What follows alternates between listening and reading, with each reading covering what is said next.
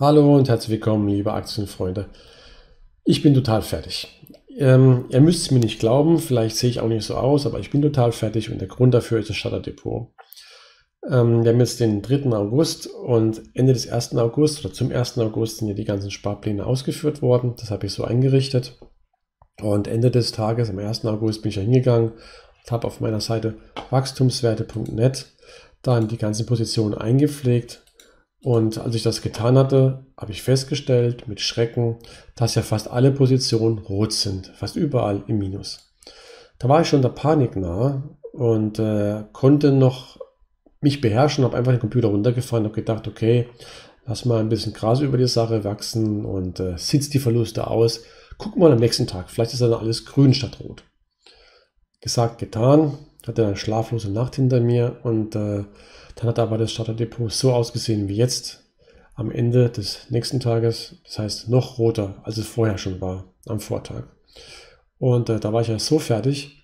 Eigentlich wollte ich alles verkaufen, aber meine Hand hat so gezittert, dass ich den Kauf Verkaufsbutton nicht mehr getroffen habe. Und äh, jetzt habe ich wieder ein bisschen beruhigt und wollte jetzt die ganzen Aktien verkaufen. Aber jetzt ist Samstag, da haben die Börsen geschlossen. Deshalb würde ich dann einfach ähm, vorschlagen, dass wir weiterhin Monat für Monat unsere Sparpläne ausführen lassen, dass wir weiterhin in qualitativ hochwertige Aktien investieren, um von langfristig steigenden Kursen und Dividenden zu profitieren. Und äh, mein Name ist Thorsten Tiet, ich bin der Gründer der Seite Aktienfinder.net und hier geht es eben um das Aufspüren von Aktien bzw. Unternehmen mit langfristig steigenden Gewinnen, um von langfristig steigenden Kursen und Dividenden zu profitieren. Und ähm, ihr habt jetzt vielleicht schon gemerkt, dass das Ganze, was ich jetzt hier gesagt habe, nicht ganz der Wahrheit entspricht auf der einen Seite. Auf der anderen Seite haben wir hier doch einen ernsten Hintergrund. Denn äh, wenn ein Depot aussieht, so wie hier, dass fast alles rot ist oder alle Positionen rot sind, ich glaube, wir haben eine, die ist nicht rot, hier McDonald's, damit können die meisten Privatanleger nicht umgehen und sie machen dann letztendlich Dinge, die sie später irgendwann mal bereuen. Ich möchte mich jetzt in diesem Video nicht mit einer einzelnen Aktienanalyse beschäftigen. Wir werden auch nicht über Abstimmung einer neuen Aktie abstimmen, sondern wir werden uns jetzt mit äh, Kursrückschlägen beschäftigen und ich will äh, euch ja, zeigen, dass Kursrückschläge in unserem Fall eher ein Vorteil als ein Nachteil sind. Kurz aber noch zum Ergebnis der letzten Abstimmung hier und wie das Starterdepot momentan aussieht. Tatsächlich, wir haben hier ja schon einige ähm, einige Teile und Abstimmungen hinter uns. Das war die letzte. Kein Sparplan, keine Aktie. Ihr wisst ja, wie ich schon gesagt hatte, kein Plan überlebt den ersten Kontakt mit dem Feind bzw. mit der Realität. Ich hatte Probleme gehabt, das Sparplanfähige oder neue Sparplanfähige Aktien zu finden, in die wir ähm, investieren können. Habe dann hier recycelt quasi. Apple hat gewonnen mit 34% der Stimmen. Texas Instruments denkbar knapp geschlagen mit 33% der Stimmen. Wird jetzt euch überlassen, was ihr macht, ob ihr Apple wie, wie ich im Fall, weil ich ja immer den Gewinner hinzufüge als neuen Sparplan, ob ihr jetzt äh, in Apple investieren wollt, in Texas Instruments, in beide oder in keine dieser Aktien. Übrigens äh, ein guter Hinweis nochmal hier oder ein guter Übergang zum Disclaimer. Mit Aktien kann man Geld verlieren. Ich habe keine Glaskugel und ich gebe keine Kaufempfehlung ab. Also bitte selbst für euer Geld die Entscheidung treffen. Äh, übrigens sind ja unten eure Kommentare und ich habe ja sehr viele Kommentare immer, die ich bekomme, sei es auf dem Blog wachstumswetter.net, auf aktienfinder.net, auf YouTube oder per E-Mail. Und da sind wirklich super Kommentare dabei, qualitativ absolut hochwertig und äh, ihr habt mich im Prinzip, beziehungsweise mein Drehbuch schon überholt. Wenn ihr äh, Vorschläge macht, auch Reads aufzunehmen oder wenn ihr Vorschläge macht, wie wir einmal Käufe tätigen können. Also wirklich super von euch. Und äh, wir werden das auch alles thematisieren und wir sind jetzt quasi dabei, ähm, diesen Plan, den wir hier haben, ähm, zu verfeinern, auch Planänderungen zu machen. Aber damit wir verfeinern können, Planänderungen machen können, brauchen wir halt erstmal einen Plan. Das heißt, als ich das gemacht habe, habe ich mir schon gedacht, dass ähm, das am Ende wahrscheinlich nicht eins zu eins so kommt. Ähm, ist aber nicht schlimm. Wir brauchen halt, wie gesagt, einen Plan, auf dem wir dann aufbauen können. Und wenn wir dann die Planänderung machen, können wir das auch schön im Nachhinein analysieren. Äh, warum haben wir was getan, als Früchte getragen oder halt eben auch nicht. Und falls nicht, können wir aus unseren Fehlern lernen. Aber wenn wir eben keinen Plan machen, dann ist halt alles mit einer gewissen Willkür behaftet und äh, das wollte ich eben vermeiden. Und im Großen und Ganzen bewegen wir uns ja immer noch hier. Insofern äh, hat der Plan hm, als Grobplan nach wie vor Bestand.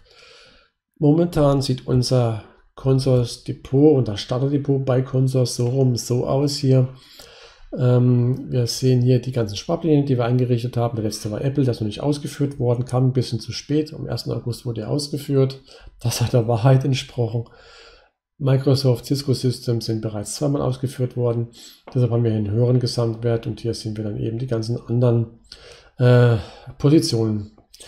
Wie gesagt, das Starterdepot wird bei der Consorsbank ähm, gemanagt oder gemacht.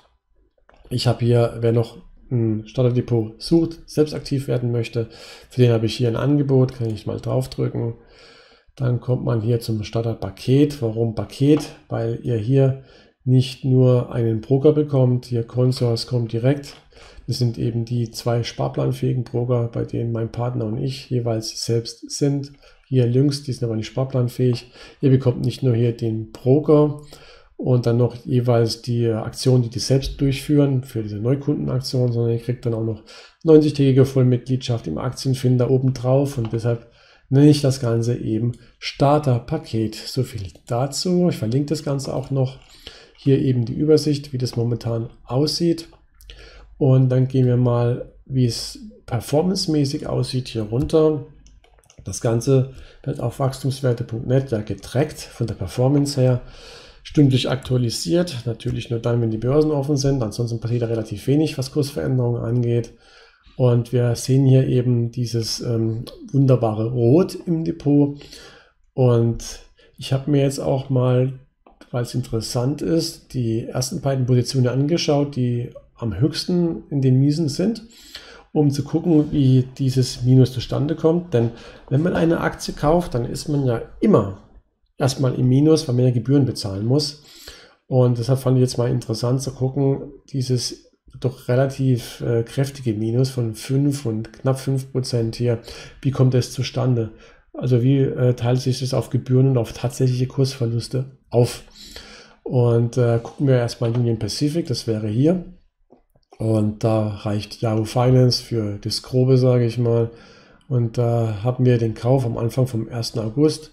Das sehe ich komischerweise. Ja, doch, hier ist der 31. Juli, aber ich habe den Kurs vom äh, 1. August genommen. Und das waren 162, 162, 20 sind schon Euro von Frankfurt. Und der Ausführungskurs war aber 165,91. Und wenn ich es ausrechne, war dann der Ausführungskurs 2,3% höher. Und diese 165,91, das sind also alle Gebühren schon drin. Und die liegen jetzt 2,3% über äh, dem Kurs, den wir hier auf Yahoo Finance sehen, also den Kurs hier.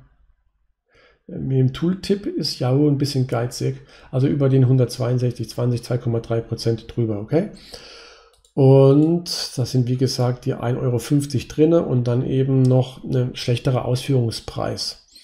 Ähm, Spread, wie man es auch immer nennen möchte. 2,3 Prozent insgesamt ist die Aktie oder die Position mit 5,24 Prozent im Minus. Das heißt, weniger als die Hälfte kam durch äh, Gebühren zustande. Und wir sehen eben, dass hier äh, Union Pacific am Freitag knapp oder ja, knapp 4 Prozent verloren hat und deswegen sind wir halt in Summe so stark hier im Minus. Bei Adidas habe ich auch das gleiche Spielchen gemacht und da bin ich auf 1,4 Prozent äh, Minus gekommen durch die kompletten Gebühren beziehungsweise Spreads, die wir haben, sind aber hier mit deutlich höheren Prozentwert im Minus, 4,66 Prozent. Und wir sehen dann auch hier, Adidas hat echt Federn gelassen. Äh, unglückliches Mikro-Timing könnte man so sagen. Also wir haben die Aktie gekauft äh, am 1. August, wo haben wir es? Hier, da ist dann der Kurs noch ein bisschen gestiegen und dann im Rahmen der Kursschwäche, der allgemeinen Börsenschwäche, ist dann die Aktie doch relativ stark eingebrochen. Ich habe auf jeden Fall nichts mitbekommen, was Adidas spezifisch gewesen wäre, aber auch ehrlich gesagt nicht nachgeguckt. Und wir sehen hier, dass ja der DAX insgesamt am Freitag einen schlechten Tag hatte mit auch über 3% Kursverlust. Ähm, also ein Teil der, äh, des ja, der negativen Performance momentan ist natürlich den Gebühren im weitesten Sinne bei der Sparplanausführung geschuldet. Der größere Teil ist aber auf äh, einen schlechten Börsentag zurückzuführen. Und ich sehe insgesamt die, Vor die Sparpläne äh, sehr vorteilhaft. Man hätte mal, als ich, ich habe eine Banklehre gemacht vor langer Zeit, wenn ich damals gekommen wäre zu dem Bankverantwortlichen, der äh, quasi die für die äh, Aktien und äh, für die ja, Aktienausführung, die Aktienorders verantwortlich wäre, wenn ich zu dem gekommen wäre und gesagt, hier 25 Euro möchte ich mir Aktien kaufen, der hätte mich ausgelacht damals. Und äh, ich halte Sparpläne also nach wie vor für eine gute Sache und werde jetzt auch nochmal zeigen, warum. Weil es extrem vorteilhaft ist, psychologisch im Rahmen des äh, Cost-Average-Effekts. Ähm, ich habe hier mal einen kleinen Chart gemacht, kleine Grafik und wir haben hier den Zeitverlauf. Nehmen wir jetzt mal 10 Jahre. Und das ist ja jetzt keine unrealistische Haltedauer. Da hätten wir jetzt 120 Ausführungen, Monat für Monat führen wir aus. Wir haben hier den, den Kurs und dann haben wir den Kursverlauf. Wir haben hier zwei Kursverläufe. Wir investieren ja in Aktien mit langfristig steigenden Unternehmensgewinnen. Das ist der Plan. Und wenn die Unternehmensgewinne langfristig steigen, dann steigt auch langfristig der Aktienkurs. Das ist so unsere Prämisse. Und ähm, der idealtypische Kursverlauf an der Börse von einer Aktie, der wäre der hier im leicht helleren Grün. Das wäre auch der psychologisch sehr leicht verdauliche Kursverlauf. Man würde also immer hier eine Sparplanausführung haben, da wäre man immer relativ kurz im Minus, weil man eben Gebühren bezahlt hat. Und dann würde aber schon ein paar Monate später, wird man in den Break-Even kommen, dann wäre man schon im Gewinn. Und das für, jeden, für jede Sparplanausführung. Äh, so viel zu Wünsch dir was. Die Realität sieht aber bezüglich des Kursverlaufs eher so aus. Geht hoch, es geht runter. Die Aktie ist mal hoch bewertet oder überbewertet und dann geht sie mal runter und dann ist sie billig zu haben. Und ganz billig zu haben ist es natürlich in Phasen echten Börsencrashs. Hier gemarkert mit zwei Explosionen. Es ist nicht unrealistisch, dass wir im Zeitverlauf Börsencrash ein oder mehrere erleben werden. Was passiert in einer solchen Phase beim Privatanleger? Der Privatanleger gibt hier nervt auf und wirft die Aktien auf den Markt. Und das tun wir eben nicht. Das Schöne ist ja, dass wir immer sukzessive nachkaufen und durch diesen Cost-Average-Effekt, wenn die Aktie überbewertet ist, relativ wenig Stücke kaufen und relativ viele Stücke kaufen, wenn die Kurse eben billig sind. Und am billigsten sind sie eben beim Crash. Und wir werfen eben in dieser Zeit die Flinte nicht ins Korn, sondern investieren weiter. Wir haben hier ja auch eine Community, äh, wo wir ja uns auch gegenseitig auf die Schulter klopfen und trösten können, sodass wir dann hier, wie gesagt, nicht die Nerven verlieren. Und das ist der Cost-Average-Effekt. Und ich habe hier auch mal im, äh, auf meinem Blog auf aktienfinder.net, da habe ich die zwei Regeln des Börsenerfolgs geschrieben. Es sind nämlich meines Erachtens tatsächlich nur zwei Regeln, die deren Befolgung dazu führt, dass man von langfristig steigenden Kursen und Dividenden profitieren kann. Das erste ist die Anlagedauer. Und da habe ich hier mal einen kleinen Chart gebastelt. Das hier ist der S&P 500, logarithmische Darstellung. Und dann sieht man hier die zwei letzten Crash, die zugegebenermaßen schon relativ weit oder lang zurückliegen. Und dann sehen wir hier die jährlichen, die jährliche Performance des S&P 500. Man sieht, dass man langfristig mit Aktien eine Rendite erwirtschaftet. Ansonsten würde der S&P 500 ja nicht steigen. Man sieht auch hier bei der jährlichen Performance, dass wir mehr Grün als Rot haben, aber wir haben trotzdem auch Rot. Und wir müssen uns vergegenwärtigen, dass es die Jahresperformance ist. Das heißt, man muss halt auch ertragen können, dass man eine negative Performance auf ein ganzes Jahr hat, vielleicht sogar auf zwei Jahre, wie hier im Rahmen, denke ich doch, der, des Blasens der Dotcom-Blase des Platzens der Dotcom-Blase, so rum. Und äh, viele Leute drehen ja schon durch äh, bei solchen Sachen, wenn hier mal äh, ein paar Monate die Performance äh, negativ ist. Was natürlich auch mit die Schuld unserer tollen Medien ist. Dazu habe ich ja auch mal ein Video gedreht. Das hieß Börsennews. Börsennews macht Lesen dumm, kann ich auch nochmal verlinken. Und damit müssen wir halt umgehen können und äh, diese äh, negative Performance, das ist halt hier im Symbolbild ähm, abgelichtet oder abgebildet mit diesen Crashs hier. Und wir gehen jetzt halt hin mit Sparplänen und bleiben total cool und rüsten oder äh, tun dann unsere Position einfach immer weiter aufstocken. Und deshalb ist es halt auch kein Problem erstmal oder sollte für uns kein Problem sein, wenn wir hier so ein Depot vor uns haben wo wir erstmal, und das ist jetzt auch insbesondere dem Mikrotiming geschuldet, weil es halt am 1. August, weil der 1. August ein sehr schlechter Börsentag gewesen ist. Wenn es halt erstmal runtergeht, dann ist es eben so. Aber ich hätte, wenn ich mir das aussuchen könnte, äh, gerne, dass es noch weiter runtergeht, sodass wir hier eben von äh, relativ günstigen, also relativ günstig zum Zug kommen, anstatt dass wir jetzt schnell wieder eine Stabilisierung haben. Also dass wir jetzt, wenn wir jetzt hier so kleiner, klein geht es mal nach unten und dann geht es wieder nach oben und dann werden die Kurse noch teurer. Dann kaufen wir jedoch relativ teuer ein, aber immer nur kleine Stücke, Cost-Average-Effekt sei Dank. Ich hätte lieber, dass es mal so richtig runtergeht und könnte dann gut damit leben, dass wir hier halt komplett erstmal rot sind. Dann so, so what, ja.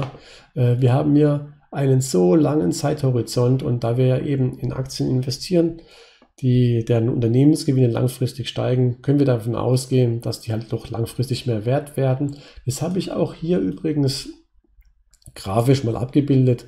Das ist hier aus dem Aktienfinder raus ein Chart und äh, beziehungsweise eine echte Grafik und da zeige ich halt, wie durch den lang, durch die langfristig steigenden Unternehmensgewinne abgebildet operativer Cashflow, äh, äh, bilanzierter Gewinn, aber auch die höhere Dividende, wie das dann diesen Fair Value quasi äh, wieder immer höher wird und wie dieser höhere Fair Value dann auch den Aktienkurs nach oben drückt.